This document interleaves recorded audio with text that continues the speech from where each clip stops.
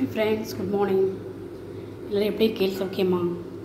இன்றைக்கி நம்ம கிச்சன் ரெசிபியில் நம்ம என்ன பார்க்க போகிறோம் அப்படி பார்த்தீங்கன்னா சாம்பார். அரைச்சி விட்ட சாம்பார். அதுக்கு நான் வந்து பரங்கிக்காய் வாக்கும் எடுத்து வச்சுருக்கேன். நல்லா தோலெல்லாம் சீவிட்டு இன்றைக்கி வச்சுருக்கேன். கூட ஒரு உருளைக்கிழங்கும் போட்டிருக்கேன். அப்புறம் அரைச்சி விட்ட சாம்பாருக்கு தேங்காய் கடலைப்பருப்பு தனியா மிளகா வத்தல் ஒரு அரை எடுத்துட்டுருக்கேன் சின்ன சின்னதாக இருக்கிறதுனால நிறைய எடுத்துட்டுருக்கேன் இது வந்து சேப்பங்கிழங்கு ஃப்ரை பண்ண போகிறேன் கறிக்கு. ஓகே நம்ம எப்படி பண்ணுறது பார்ப்போம். ஃபஸ்ட் நம்ம இதை வந்து வேக வச்சு விடுவோம்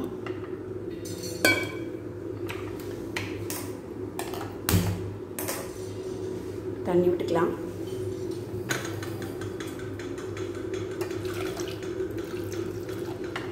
நல்லா வேகட்டும். நம்ம இதெல்லாம் வந்து வறுத்துன்னு விடுவோம் இந்த சைடு சைடு நான் வந்து தேங்காய் எண்ணெய் வச்சுருக்கேன் வச்சுருக்கேன். அரைச்சி விட்ட சாம்பாருக்கு தனியா தனியா வெத்த மிளகா கடலைப்பருப்பு. இது மூணும் நம்ம பெருங்காயமும் போட்டு வறுத்துக்கிறோம். அப்புறம் தேங்காயும் வச்சு நம்ம அரைச்சி விட போகிறோம் எண்ணெய் காயட்டோம் நம்ம அதை வறுத்து விடுவோம் எண்ணெய் காஞ்சிட்டுருக்கு இதில் போட்டுக்கலாம் இதை.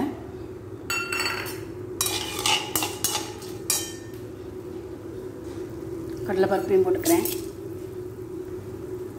இவ்வளோ அளவுன்னு கேட்டேன்னா ரெண்டு ஸ்பூன் தான் கடலைப்பருப்பு எடுத்துட்டுருக்கேன் தனியாக வந்து ஒரு மூணு ஸ்பூன் கிட்டத்தட்ட சின்ன ஸ்பூனுங்கிறனால ஒரு மூணு ஸ்பூன் எடுத்துட்டுருக்கேன் இந்த வறுத்து நம்ம எடுப்போம். கொஞ்சம் பெருங்காயமும் போட்டுக்கலாம்.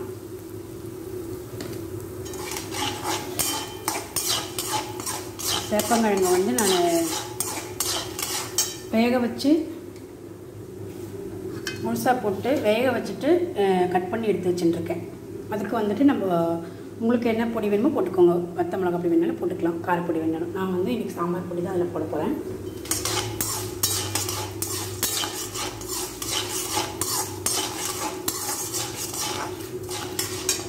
இது நல்லா வேகட்டும். வந்ததுக்கப்புறமா விசில் வச்சுக்கலாம். புளிக்காய் புளியை வந்துட்டு ஊற வச்சுருக்கேன் இல்லையா? நெல்லிக்காய் சைஸ் அளவு ஊற வச்சுருக்கேன். அதை நம்ம அதில் விட்டுக்க போகிறோம் வெந்ததுக்கப்புறம் வச்சு ஆஃப் பண்ணிடுறேன்.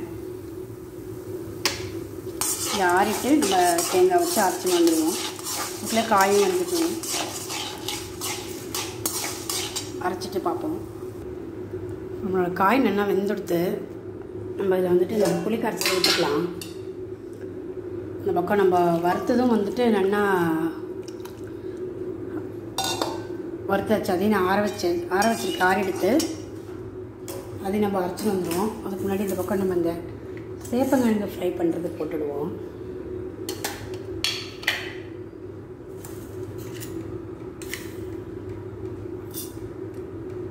எண்ணெய் காயிட்டோம். கடுகு போட்டிருக்கேன். இந்த பக்கம் வந்துட்டு கொஞ்சம் பெருங்காயம் சாம்பாருக்கு உப்பு மஞ்சள் பொடியெல்லாம் போட்டுக்கலாம்.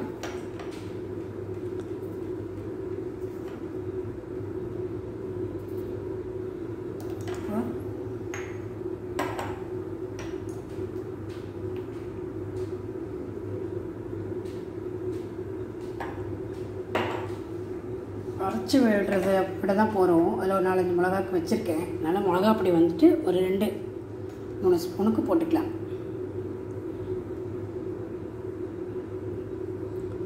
இது நல்லா கொதிக்கிட்டோம். இந்த பக்கம் நல்லா நல்லா காஞ்சின்னு இருக்கு. கடுகு போட்டிருக்கேன். கடலைப்பருப்பு உளுத்த பருப்பு ஒரு ரெண்டு ஸ்பூன் அதாவது கடலைப்பருப்பு போட்டால் என் பையனுக்கு ரொம்ப பிடிக்கும் எல்லாத்துலேயும். அதனால் நான் கடலைப்பருப்பு போடுவேன். வேணும்னு அவசியம் இல்லை. உங்களுக்கு வேணும்னா போட்டுட்டா போகிறோம் இது நல்லா வெடிக்கிட்டோம். கடுகு நல்லா வெடிக்கிறது. இப்போ நம்ம வந்துட்டு இதில் மஞ்சப்பொடி உப்பு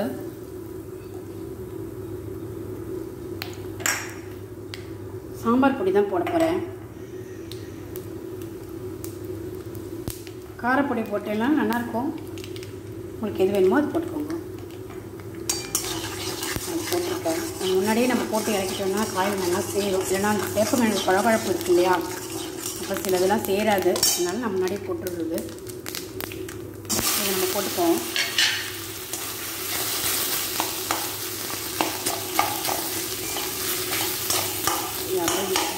நல்லா அது ஃப்ரை ஆகிப்போம்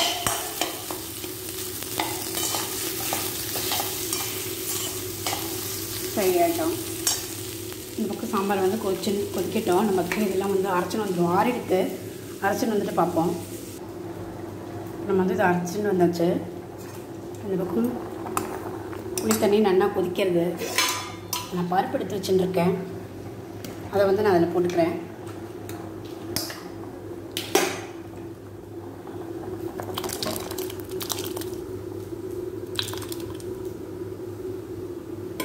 கொஞ்சம் கலசு எடுத்து வச்சுருக்கேன்.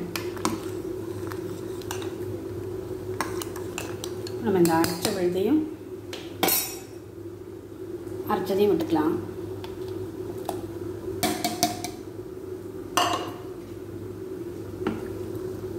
நான் அதை கலக்கிடலாம்.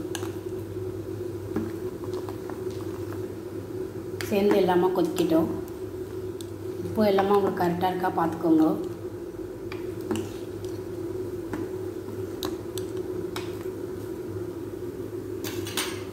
இந்த பக்கம் வந்து சேப்பங்கிழங்கு.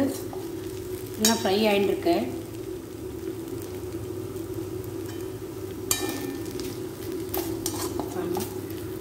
இது எண்ணெய் வேணும்னா விட்டுக்கலாம் கொஞ்சம்.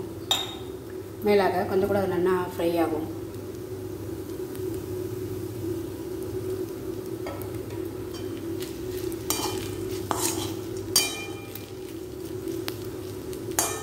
நல்லா ஃப்ரை ஆகட்டும் நமக்கு தேவையான நம்ம கருவேப்பிலை கொத்தமல்லி நம்மளோட சாம்பார் வந்து நல்லாவே கொதிச்சுன்னு இருக்கு பாருங்க. நல்லாவே சேர்ந்து கொதிச்சுன்னு இருக்கு இந்த செய்கிற நேரத்தில் வந்து நம்ம கருவேப்பிலை கொத்தமல்லி எல்லாம் ஆஞ்சி வச்சுருக்கோம். அதெல்லாம் போட்டுக்கலாம். வச்சுக்கலாம்.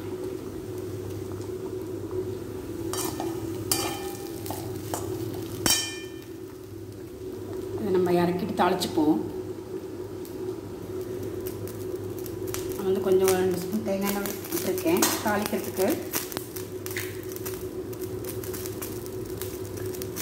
கடுகு ஒரு ரெண்டு ஸ்பூன் போட்டுக்கலாம். வெடிக்கட்டும். வெந்தயம் ஒரு ஸ்பூன் போட்டுக்கிறேன். இது பெருங்காயம். இதுமாதிரி லாஸ்ட்டு கொஞ்சம் தாளிக்கும் போது கொஞ்சம் பெருங்காயம் போட்டால் சாம்பார் ரொம்ப நல்லா இருக்கும். அதனால் போட்டுருக்கேன் வெடிக்கட்டும். இதுவும் ஆயாச்சு. ஒரு ஒரு நிமிஷம் கூட இருந்தால் நல்லா ரோஸ்ட் ஆகிடும் ரொம்ப நல்லாயிருக்கும். நீங்கள் நம்ம ட்ரை பண்ணி பாருங்க. சேப்பங்கிழங்கு ட்ரை பண்ணால்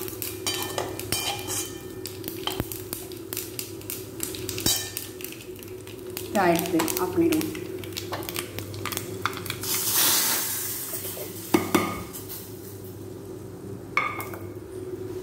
ஒரு நிமிஷம் கூட இருந்துட்டு நான் உங்களுக்கு காட்டுறேன். எவ்வளோ ஃப்ரையாக வந்திருக்குன்னு. பாருங்க. நல்லாவே ரோஸ்ட் ஆகிடுது சேப்பங்கிழங்கு முடிச்சு இந்த பக்கம் வந்து நான் ஆற்றுலே வெண்ணெய் கடைஞ்சேன். இப்போ நெய் காய்ச்சின்னு இருக்கேன். அதாவது நம்ம டெய்லி நான் அன்றைக்கி ஏற்கனவே ஒரு வீடியோ போட்டிருக்கேன். எப்படி வீட்டிலேயே வெண்ணெய் எடுத்து நெய் காய்ச்சதுன்னு சொல்லிட்டு அந்த மாதிரி இப்போ எடுத்து இதை காய்ச்சின்னு இருக்கேன் நான். மாதிரி பத்து நாளைக்கு ஒருக்க வீட்டிலேருந்து இப்படி காய்ச்சி எடுத்துருவேன். சாப்பிட்றதுக்கு மட்டும் இது யூஸ் ஆகும். இப்போ நம்மளோட சமையல் ரெடியாக எடுத்து ஆஃப் பண்ணிடுறேன் நம்மளோட சாம்பாரும் ரெடியாக எடுத்து. எல்லோரும் எப்படி இருக்குன்னு சொல்லுங்க ட்ரை பண்ணுங்க. செப்பங்கிழங்கு ஃப்ரை கொஞ்சம் கூட உங்களுக்கு வேணும்னா பண்ணிக்கலாம். எங்களுக்கு இது போகிறோம் நான் ஆஃப் பண்ணிடுறேன். ஆஃப் பண்ணியிருக்கேன்.